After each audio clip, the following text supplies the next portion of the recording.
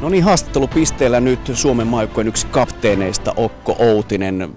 Kerro vähän Okko, miten omalta osalta sun turnaus on tähän mennessä sujunut?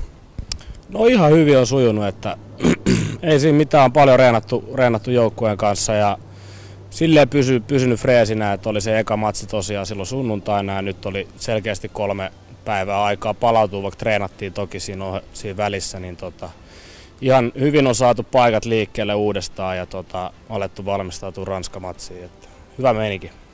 Sä oot ollut itse nyt maajoukkueen ringissä noin kuusi vuotta, taitaa vuodesta 2012 alkaen. Onko tänä vuonna joku näistä muista puolustuksen linjamiehistä sun mielestä breikannut ihan tosissaan myös maajoukkuetasolla?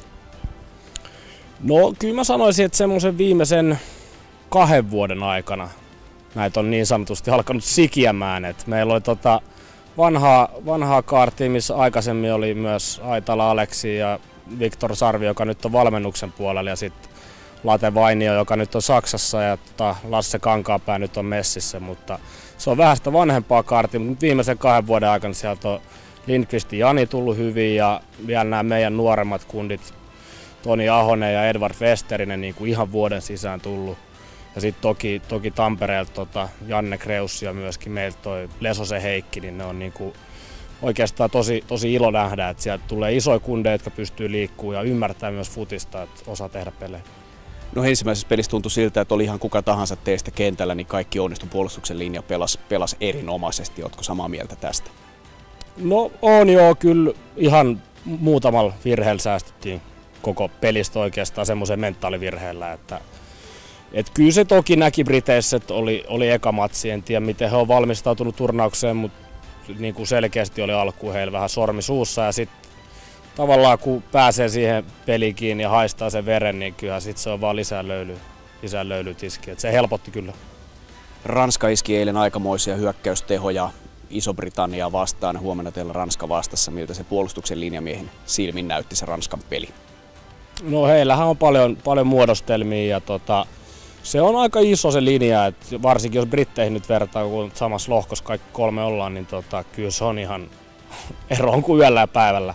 Mutta ei se niin kuin on isompiakin jätkiä vastaan pelattu, että ei siinä ole niin kuin mitään syytä lähteä pelkää sinne kentälle. Et se, jos jokainen hoitaa oman ruutunsa ja tekee niin kuin mentaalisesti oikeat pelit, niin ei meillä ole mitään hätää. Sitten vaan pitää, siitä tulee tasainen matsi, että pitää tehdä oma homma hyvin.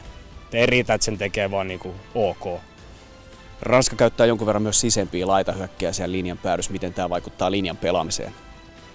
No meillä oikeastaan kutsutaan se tota, juoksuvahvuus eli linjan vahvuus sen sisemmän laitahyökkäjän mukaan. Että sen mukaan siirrytään oikeisiin paikkoihin ja sen mukaan sitten päädyssä endit saattaa pelata niin kuin ihan jopa siinä sisemmän laitahyökkäjän päällä tai jommas kummas hartiassa. Että ne saattaa sitten tulla jopa niin kuin ihan blokkiakin siltä itse sisemmältä laitahyökkäjältä, mutta muuten se on futista niin kuin aina ennenkin. Sä toimit eh, Sami Toivosen kanssa puolustuksen kapteenina. Minkälaista on liidata tuota Suomen puolustusjoukkoa? No kyllä se on tosi helppoa. Että tuolla on sen verran ammattimaista kundia ja tota, pelannut pitkään. Se nä- kokemus niin kuin osasta jätkistä huokkuu siitä ja siinä ei niin kuin, jos ei oikeasti ole jotain sydämen päällä, mitä haluaa sanoa, niin ei tarvi keksiä mitään teennäisiä puheita. Et jätkät on tosissaan, myös nuoret jätkät, niin kuin ne ymmärtää, että on iso paikka, kotikisat tälleen näin, niin se on oikeastaan todella helppo homma. Tuntuuko siltä, että kun pitkään olette tässä yhdessä ja, ja paljon tietysti aikaa myöskin hotellille, että siellä on syytä aina välillä katsoa, että kaikki voi myöskin henkisesti hyvin? No kyllä se on ihan hyvä, hyvä tsekkailla, että kyllä tuolla juttujen taso, mitä pitämällä viikko etenee, niin juttujen taso laskee ihan sama vauhti. Että kyllä se kannattaa vähän kysellä, että menikö tämä nyt pitkälle vai liian pitkälle vai ei.